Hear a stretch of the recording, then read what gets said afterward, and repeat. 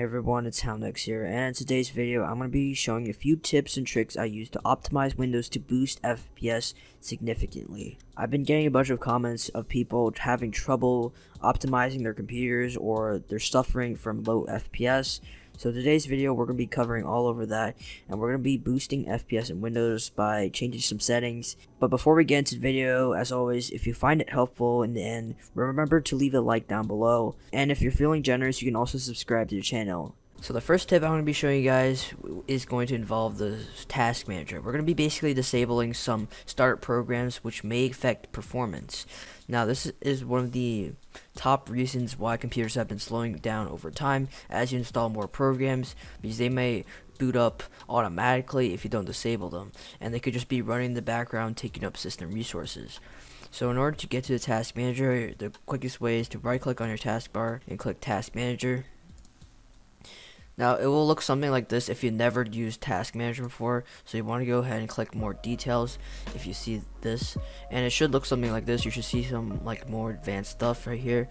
Now go into the startup tab and as you can see there's going to be a bunch of apps. You may have more or less than me. But you're going to want to basically disable every single app you don't want starting up when you boot up Windows. So for example, I don't really want Microsoft Teams booting up when I log into Windows because I just want to open it when I feel like it. Now, don't disable stuff that you, you don't really know about because I'm not going to disable EarTrumpet because I actually want that to start up every time I boot up Windows. When you're done, you can just go ahead and close out of the task manager. So the next few tips I'm going to be showing you guys will be in the Windows setting app. In order to get into the Windows setting app, you have to left click on your start menu and click the settings right here. And then the first section, we're going to go into the gaming. And right here, starting off, we want to disable game bar. This basically increases input lag and it takes up a lot of your system resources. So I highly recommend you disabling this option if you don't use game bar. And you can also uncheck this option.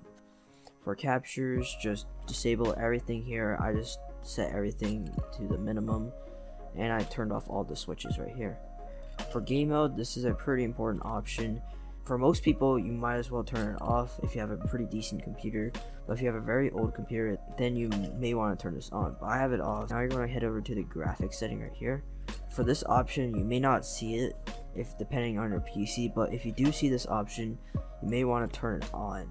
But I'm going to leave it off because I don't really benefit from this setting. This basically this will reduce latency and improve performance, but if you don't really see much performance improvements or if your latency doesn't get decreased, then it's best to leave it off.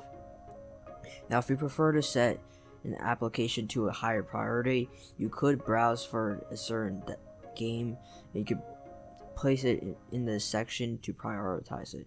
So, in order to do that, you want to select desktop app, click browse, and I'm going to choose Minecraft as an example. It doesn't show up here, you want to go ahead and right click the shortcut and click copy, and then you want to go ahead and file name, hit Control V to paste it, and then click add. And right here, you want to go to options and set to high performance, which is going to be using your graphics card. And this will prioritize your system to put more of your the system resources into this application so you'll be getting more FPS. Now once you're done with that setting, you're going to want to go ahead and head back into the main menu. And next we're going to go into privacy. And this is another setting I highly recommend you change. So scroll down to app permissions and you want to scroll all the way down when you find background apps. And by default this will be on. So what you're going to want to do is disable it I highly recommend you turning this switch off because this will free up a ton of your memory and will basically free up a lot of your system resources so you can have, get more FPS and you can preserve those system resources for your games. Now once you're done updating your GPU drivers and they have successfully finished, I highly recommend you restarting your computer before continuing in order to avoid any issues such as game crashes because this has happened before to me when I forgot to restart my computer. Now once you're done, you want to head over to one of these folders depending on which kind of graphics card you have. Like I said before, you could check using the task manager to see what kind of graphics card you have. For me, I have NVIDIA So I'm going to choose this folder and you want to go ahead and open this image. By the way, it's credits for AtomX for creating this. You just want to copy all these settings in the NVIDIA control panel.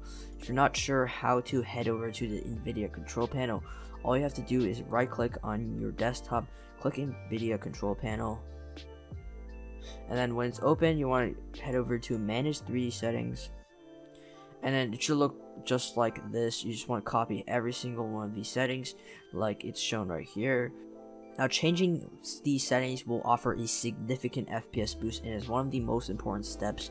So just copy everything right here and you should be good to go so if you want to know what these settings do and why I should change them, I already made a whole other video on optimizing the Lenovo Legion 5, which is a laptop, and that video involved changing the NVIDIA control panel and optimizing it. So if you want a more in-depth explanation in what settings to change and why you should change them, then I highly recommend you watching that video and I'll drop that in the description below. If you're more advanced, you can also unhide the silk smoothness. This is a registry file. In order to run this registry file, you just want to double click on it and click yes. And it should be added to your registry. AMD and Intel are very general. Just copy the images shown right here. And if you want to make sure that all these optimizations are taking effect just restart your computer again and then continue on with the video Next, we're going to be updating our Visual Studio redistributables. Now you want to go ahead and double click this to run. Now I've already basically installed this so it won't let me do it again.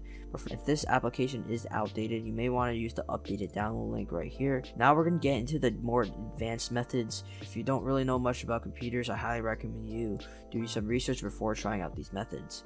We're going to start off with disabling the anti-malware service executable. This batch file is created by AtomX, so credits go to him. Now, what anti-malware service executable? It's basically the Windows Defender. Now, I highly recommend you disabling it because it takes up so much of your resources and it takes up a lot of your memory and it's pretty annoying. So I highly recommend disable it and not only will it free up memory, it will also free up some CPU usage and overall increase a decent amount of FPS. Now you want to go ahead and drag this disable anti-malware service executable file. Make sure it's the registry file where it says registry entries. Go ahead and drag this onto the PowerRun thing and then it'll open show this thing. Now click yes and click OK. If this doesn't end up working out for you and you want to re-enable the anti-malware service executable, you can drag this option where you can re-enable it into the PowerRun and I'm going to click no because I want to disable it but if you want to re-enable it then this is the method. Now next we're going to uninstall OneDrive which is another advanced method. This is another script but this is created by Brightech not AtomX. This will basically uninstall OneDrive if you don't use it. OneDrive is pretty annoying. It does it is considered telemetry and it does takes up some of your resources if if it runs in the background so I just recommend you uninstalling it if you don't use it the script is really safe. I've used it many times before, and it hasn't affected my other uh, applications like Microsoft Word or Excel. So you should be fine when running the script. Now, before doing so, make sure you right click on it and click Run as Administrator. And then this will basically start one, uninstalling OneDrive, but I'm going to quickly cancel it because I've already done it. One thing I should mention is that do not run the script more than once. If you have already uninstalled OneDrive and it's not on your computer right now, do not run the script because this may break Windows. And once you have ran this script to uninstall OneDrive and it's been completely removed from your computer and you have not reinstalled it, then do not run the script again because it will also break Windows. And I did this once before and it pretty much messed up my installation. So that's going to be it for today's video. If you guys found it helpful, remember to leave a like down below. And if you're interested in this type of content, you can also subscribe to the channel. I want to thank all of you guys for the, all the support for helping me reach 1,000 subscribers. And yeah, I'll see you all in the next video.